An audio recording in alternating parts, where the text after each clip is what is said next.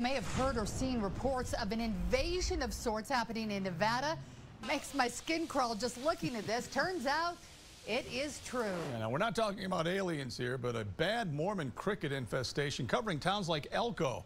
It's got residents on edge, and there's really not much they can do. No, Lincoln Graves in Elko to show us how bad it is and what can be done about it. Some places in Elko are worse than others, and these insects travel. So what's bad today may not be as bad tomorrow. Right now, we're in front of one house covered with Mormon crickets. Residents around town say they've been dealing with these for weeks, and they are tired of it.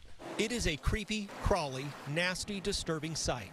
It's bugging me. Oh, it's bugging me. Parts of Elko are covered in swarming and migrating Mormon crickets. They're on the roads. You can see that they're moving and crawling, and the whole road's crawling, and it just makes your skin crawl. It's just so gross. And they cover some homes. When we looked out here, it, the whole wall was just covered. That really, really, really freaked me out. Colette Reynolds has been dealing with them for a few days. It causes depression, anxiety. You feel super violated.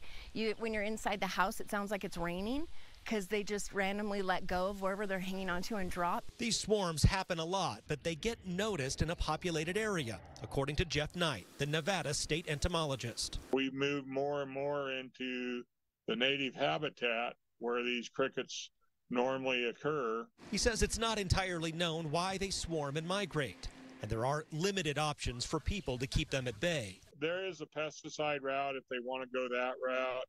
There's a route of tolerate it and they probably will move through. There are also cricket fences, which they can't climb.